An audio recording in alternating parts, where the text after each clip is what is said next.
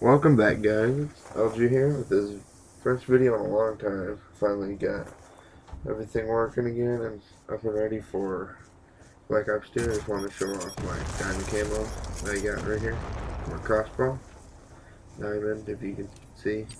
I got it from my ballistic knife too that was shown off. Riot shield and combat knife.